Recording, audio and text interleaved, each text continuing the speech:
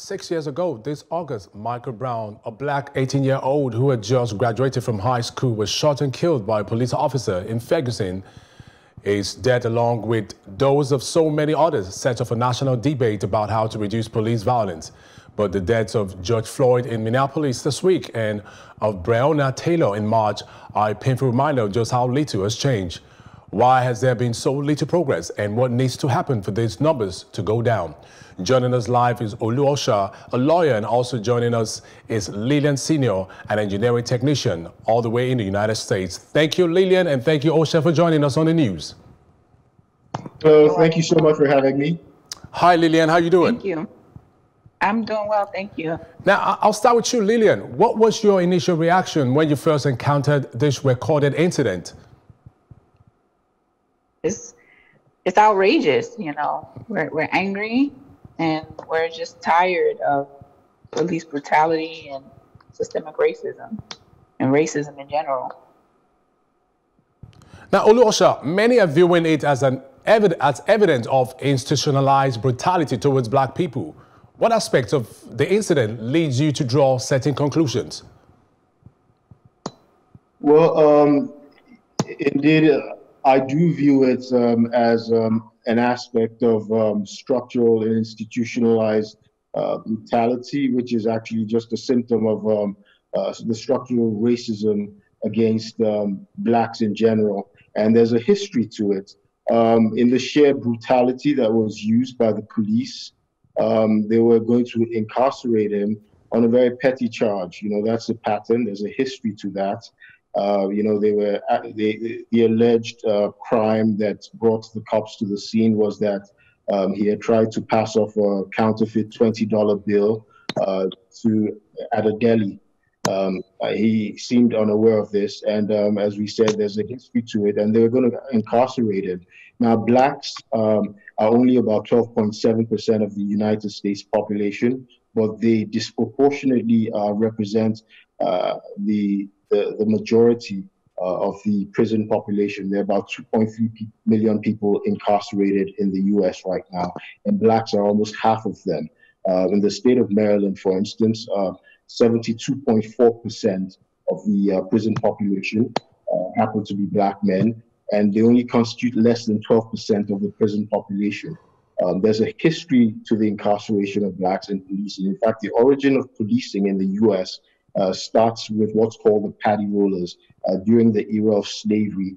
And, uh, you know, police patrols were used to catch runaway slaves. And one of the things they used was brutal force. And all of these were institutionalized. Uh, you know, slavery, of course, uh, was actually in the U.S. Constitution, in the uh, U.S. Constitution of 1787, and it made black men three fifths of a man. It's called the three fifth clause. It just just deemed to be three fifths of a white man. And so you can see uh, the dehumanization, you know, how Mr. Uh, George Floyd was dehumanized. He wasn't given any humanity when he cried out for water. Uh, they didn't respond. They didn't show the empathy you show a human being. A dog would be treated better than the way uh, George Floyd was treated. And um, you know, the, the, the, the, so with the paddy rollers, after uh, slavery was uh, abolished uh, with the 13th Amendment, after the, the the end of the Civil War, we found that there's something that was also instituted in the South to sort of re-enslave uh, blacks again through the prison system. It's called convict uh, leasing, and they used petty crimes, the black codes and vagrancy laws, uh, through which they jailed black men uh, using petty crimes, and they re-enslaved them and leased them out to uh, companies uh, for, as free labor. And right, um, let me, let me, come to Lilian. Um, Olu, Osha, just hold on there. Let me come to Lilian a bit. Now, Lilian, George Floyd, one too many of such incidences. And once something like this happens, we see street protests, campaigns, and this this is one case too many. And previous other cases we can we can point our fingers to to police brutality of killing of black African Americans and black blacks in, in America. Um, so one of such is the hashtag that that gained notoriety, Blacks Lives Matter. How effective do you think, or would you say these campaigns of this nature are? Well, before I answer that question, I just wanted to piggyback a little bit on um, what Mr. Osha talked about okay. as far as his arrest. So, all too frequently, uh, the police are called on black people in particular for false uh, false allegations. And so we don't even know at this point if the allegation made against George Floyd was even legitimate. You know, we we don't they haven't produced this fake $20 bill that they claim that he tried to use.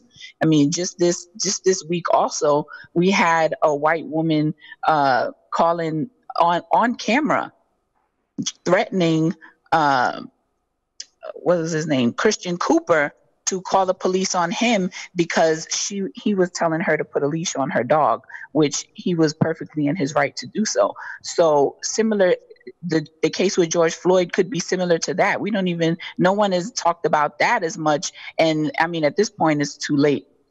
So um, as far as the hashtags are concerned, um, the Black Lives Matter, I mean, I think anything that brings light to the situation is helpful the issue of George Floyd has, has caught so much international attention.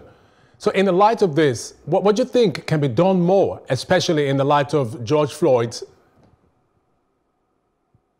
Well, I think I think the and these are just my opinions, but I think the first thing that that should be done is look at the the justice system, look at the the force that police uh, police communities with you know, specifically the black communities.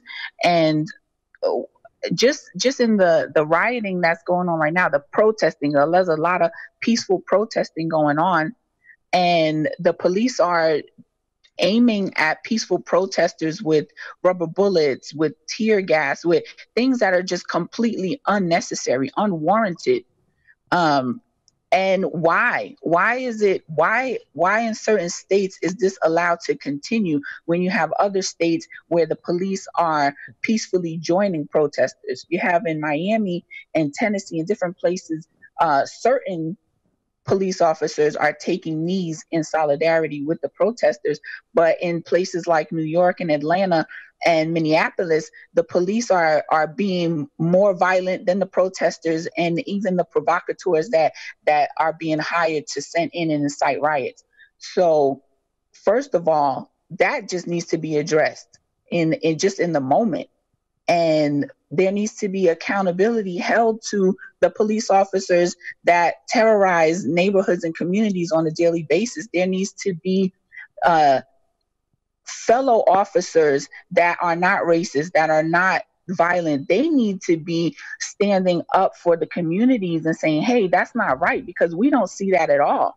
We don't see other police officers who are in disagreement with this. All we see are police officers being violent. When you and when instances like George Floyd comes up, that you know the police officers are quick to say, well, not all police officers are bad, but we don't see them taking a stand against it.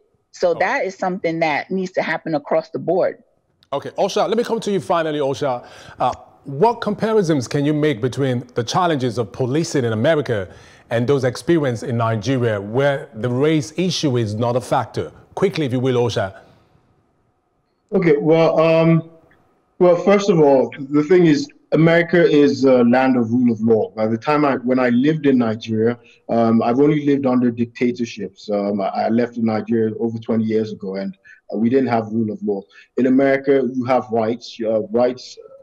All his rights were violated. His Fifth Amendment rights of due, due process, uh, a right to a trial. Um, he was executed right there uh, of um, you know, innocent until proven guilty, uh, fair trial. Um, in fact, he's also the use of force was a violation of his um, uh, of, of, his of his eighth of, of his eighth uh, amendment rights, uh, which does which prohibits cruel and unusual punishment uh, and treatment. So, um, you know, in Nigeria, you know, from what I recall, there were just basically no rights. It's not a land where rule of law is established or the equality of everybody or human dignity. America is predicated on the rule of law.